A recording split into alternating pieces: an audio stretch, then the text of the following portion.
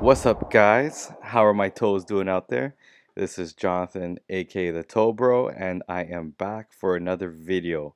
It's been a long time since my last video, so I really apologize for that, guys. It's been a pretty busy month. I was doing a little bit of traveling, some for business, some for pleasure, but I'm back and I'm here to give you guys uh, something new, something exciting, uh, another surgical procedure.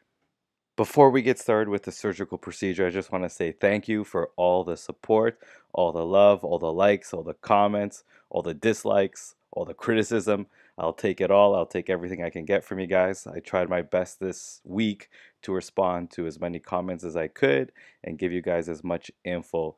Uh, the, the support and, and the interaction has been amazing. I can't believe how much these videos are growing and it really motivates me uh, this month to put a lot more content out. So I'm trying to working I'm trying to work on scheduling more content on a more regular basis. I have like 40 or 50 videos I filmed over the last month, two months of all these different procedures, surgical procedures, uh, routine care, thick nails, corns, calluses, whatever I've been doing in my office, I've been trying to film it. So it's now just a matter of me sitting down, editing them, uh, and making them really presentable and informative and fun for you guys.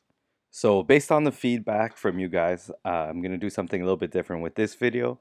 I'm just going to go right into it, no music, talk everything out, explain what's going on, keep it simple, let you guys be able to hear me clearly, and then we'll see how you guys like this one, and from that we'll decide what the next video is going to be like. We have a really exciting, interesting case today, so let's go into a little bit of a background information on the patients. So we have a, a young mother of three. She's early 40s. All her her patient, uh, all her children have seen me.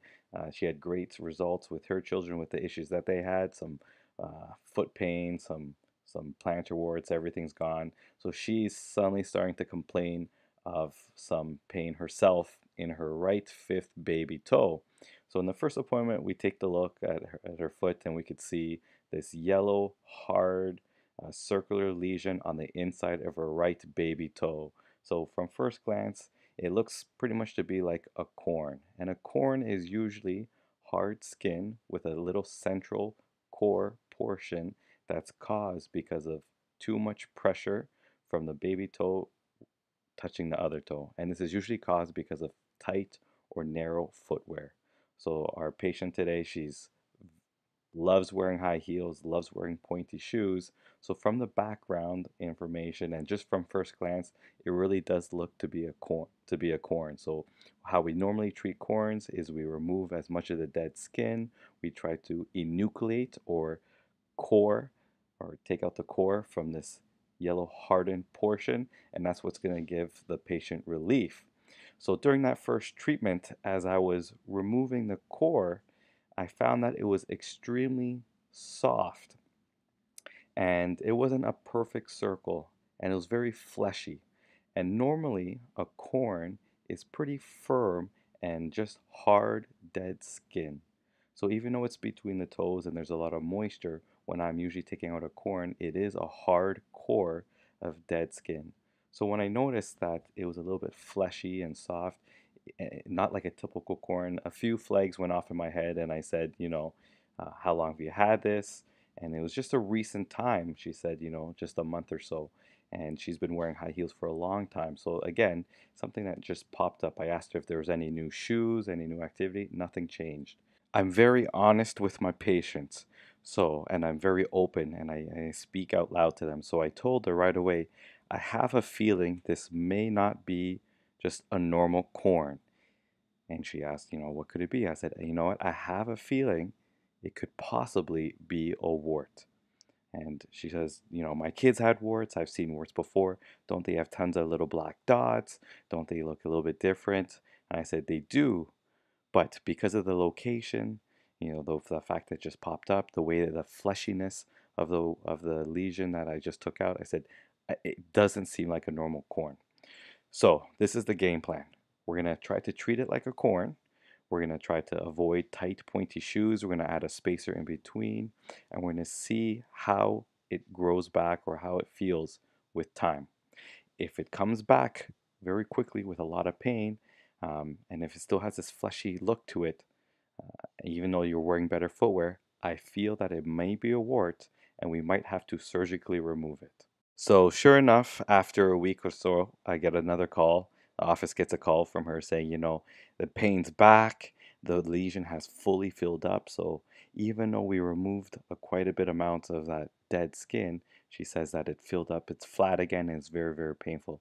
Even when I do normal corns, when when we remove the corn, there should be relief for at least a few weeks, more than more than just one week. So I told her, you know what, I think that's a sign that we might have to do a surgery to surgically remove this lesion and possibly get rid of this wart that might be here, okay? Because it's not normal for a corn to react like that. We booked an appointment where she knew ahead of time that we're going to do the procedure. So what would happen with any sort of excision for this kind of lesion? The toe would be numb. Uh, she doesn't feel anything from the procedure. She's able to drive home and she's just ready for a little bit of discomfort, possibly for the first couple days, and for the toe to be a little bit sore for the first week. So we booked an appointment knowing what was about to happen, and let's continue with the video, seeing how the whole procedure works from start to finish. So here we are, guys. We're in the office about to do the procedure. So the first thing we got to do is freeze this baby toe. So a little background information on, on how to freeze a toe. So actually each toe has four nerves, two on the top, two on the bottom. So what we're going to be doing is injecting from the top of the toe uh, to freeze the top nerve. And what happens after we freeze the top nerve, I push the needle a little bit deeper to reach the bottom nerve on that same side. So to completely numb a toe, we have to do two injections on either side of the toe where we drop freezing on the top portion and on the bottom portion on that one side. And this will completely numb the toe and there will be no pain or any sensation during any sort of procedure. So what I'm using is a mixture of uh, anesthetic, a short-acting anesthetic that, that kicks in very fast with a mixture of a long-acting anesthetic.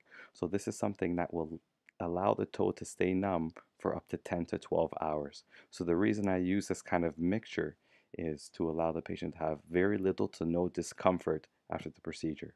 So as you can see, it's very quick, very simple, toes numb. After the injection is complete and I've tested the, the toe to make sure it's completely numb, uh, I will prep all my instruments, uh, get everything ready, and off we go. So what I'm putting on right now is a tourniquet. And this tourniquet is very important anytime I do any sort of surgical excision or removal of a potential growth. The reason for that, we want to minimize the amount of blood loss during the procedure. And I also want to have a very clear vision of the field that I'm working in. Anytime it's a lesion is bleeding too much, it's very hard to see uh, the area that you're working on to make sure that you've removed any sort of bad or un, unwanted growth. So by having this little bit of a tourniquet on the toe, it's going to accomplish all those things. Little to no blood loss, and I can see the area I'm working in very clearly.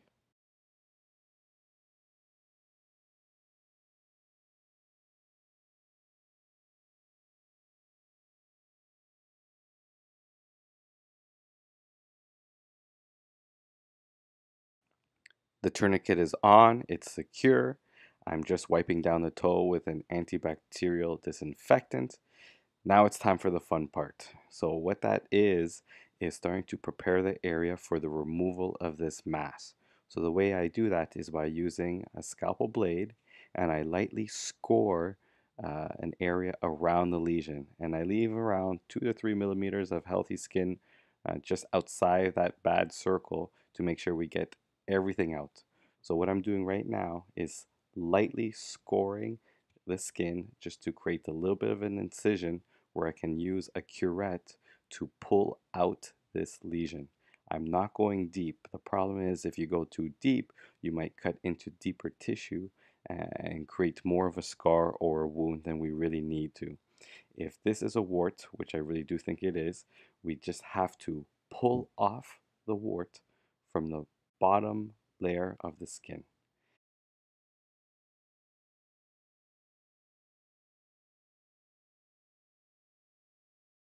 So right now I'm taking out the curette, I'm putting it in the little groove that I made, I'm starting to pull the wart off of what we call the basement membrane. The moment I started to lift the lesion, I was 100% confident that it was truly a wart. And the reason for that, a wart, when we excise it or cut it out, it's an encapsulated mass. So as you can see, it's basically a lump of very hard, firm skin. It comes usually off in one piece with good technique. I literally just have to scrape or pull the wart off the basement membrane and it should come off in one piece. The reason that there's a little bit of blood, uh, that's because a wart is full of vascular tissue. A wart is a virus and uses the body's blood supply to grow and multiply. So it's normal even with the tourniquet to have a little bit of bleeding, but as you can see, there's no steady blood flow. Uh, once I get that mass out, there's very little to no blood. So what I'm doing now is I'm cleaning the area, removing as much uh, of that warty tissue that was attached to this area uh, from the healthy skin. And you can see how important it is to have a good tourniquet. This is what's going to allow me to see that all that stuff behind is normal tissue. The basement membrane is a nice uh, thin layer of white tissue. It's very, very smooth. And so I can see that I'm on the basement membrane. I'm pulling off all the dead warty tissue that's around the area, making sure that there's nothing left behind. We want to stay above this layer of skin. Underneath this layer, that's where all the fat cells are. That's where the muscle and deeper structures can be found. Once we go past that level, that's where we can definitely increase our chance of having a scar or further damage to, to structures that don't need to be uh, affected.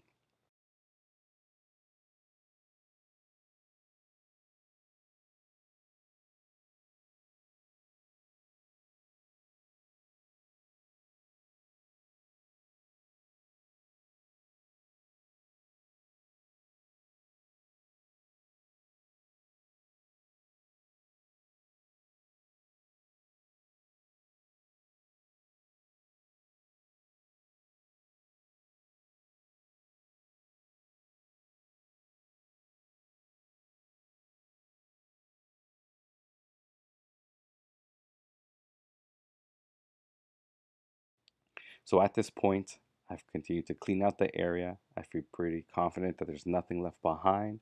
Uh, it's looking much healthier. There's no blood. So once I'm confident that everything is out, there's no more potential warty tissue, I'm going to apply uh, two things to make sure that this wart tissue doesn't grow back. Number one is electrocautery, and I'm using a disposable uh, electrocautery tool that will, uh, at a controlled temperature burn or damage that tissue, uh, ensuring that any wart tissue left behind is killed. And after that, I'm going to be applying a chemical called phenol. And this is the same chemical I use uh, during my nail surgeries to prevent any nail from growing back. And the reason I use these two steps is really to try to eliminate the chance of a regrowth. Even when performing a surgery like this, it's it's possible for the wart to grow back. So the, the more aggressive I am now uh, with removing as much tissue as I can and then applying electricity and an acid will help increase our chance of the wart never coming back.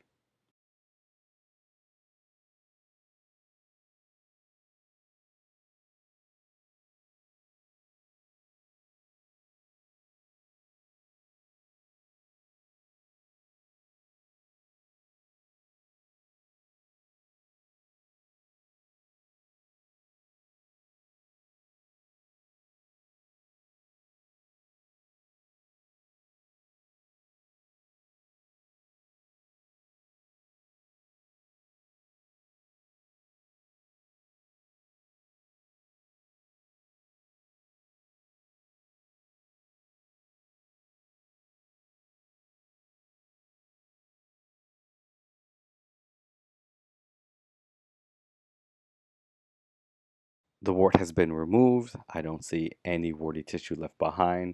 I used electrocautery. I used a chemical cautery to try to kill any remaining wart tissue. So all that's left now is just to dress the wound.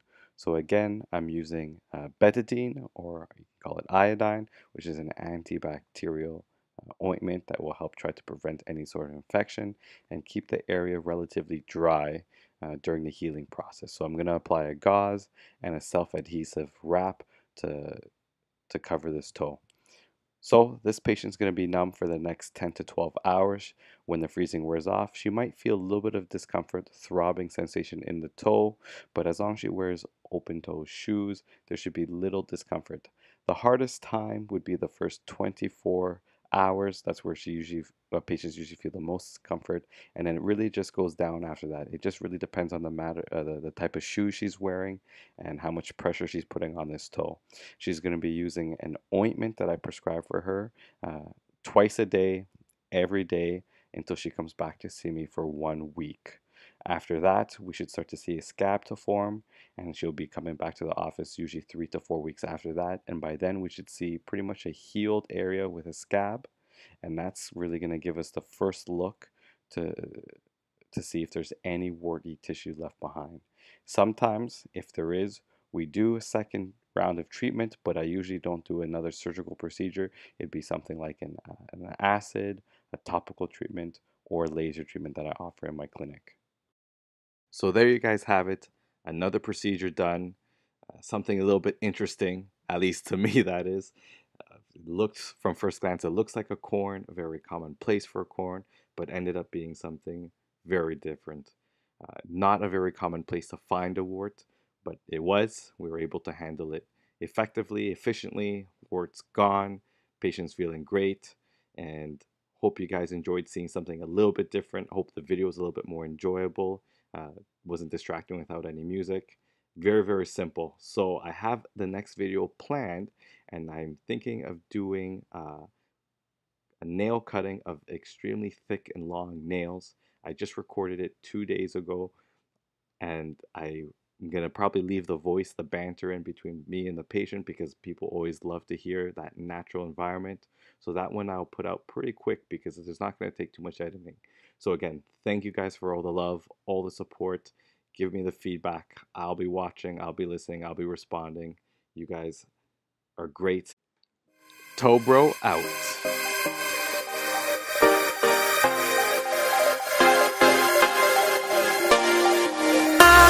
Oh.